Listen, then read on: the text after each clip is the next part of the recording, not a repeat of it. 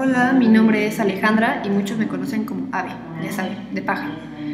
Eh, yo nací un bonito 14 de agosto de 1993. Mi amiga, mejor amiga, también cumple ese día. Eh, soy hija de Patricia Estrada Rodríguez y Cruz Antonio Terrazas. Tuvieron otros dos hijos llamados Ricardo y Diego. Mi mamá se acuerda de esa fecha, de mi fecha de nacimiento, porque en ese día le regalaron una suave. Mi hermano me falleció, mi hermano Diego, entonces quedamos mi hermano Ricardo y yo. Nos molestamos mucho, pero es muy divertido y lo quiero.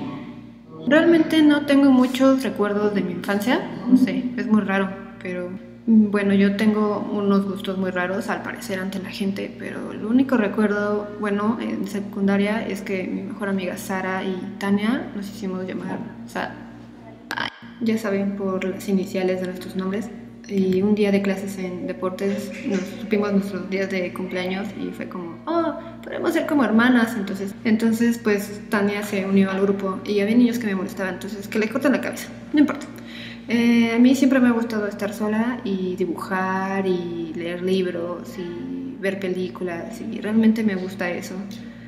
Eh, cuando llegué a la preparatoria pude expresar libremente mis gustos y era muy padre porque había gente tan rara como yo o que de mínimo me soportaran. Entonces conocí a estos amigos que, no sé, bueno, un amigo nos comenzó a decir pioches, no sé, es una larga historia, muy difícil de entender, nadie la entiende.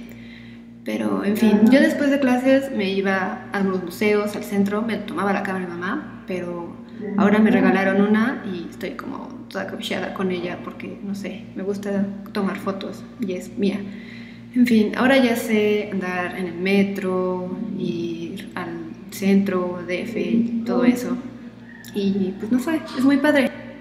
bueno, realmente no, les mentí como Pinocho. Realmente no tengo mucha idea a veces de cómo llegar a ciertos lados y me pierdo muy fácilmente.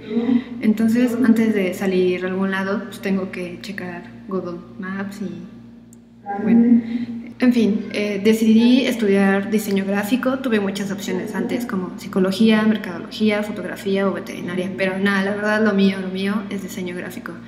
Ahí podía hacer como yo quisiera, más que en preparatoria. Y tuve demasiados cambios de corte de cabello, bueno, desde pequeña. Entonces, ahí realmente nadie criticaba mis cortes. Era muy padre, excepto que mis padres les fastidiaba mucho que pues ya saben, los cambios en una niña de ese tipo son raros según esto. Pero ahora tengo muchos bonitos amigos que entienden todo lo que hago y porque ellos hacen lo mismo y puedo compartir mis gustos con ellos y podemos intercambiar gustos y blogs y todas esas cosas padres que todo el mundo entiende. Aunque no sé, a veces hay gente que simplemente no entiende el diseño gráfico, que piensa que es muy fácil, dibujitos y todo eso, pero no lo es.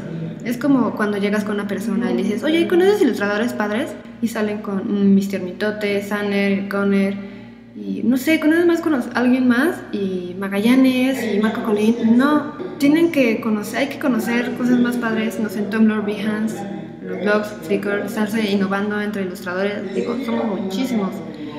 Pero bueno, creo que eso es todo. Gracias por ponerme atención. Nos vemos. No, no, no, esperen.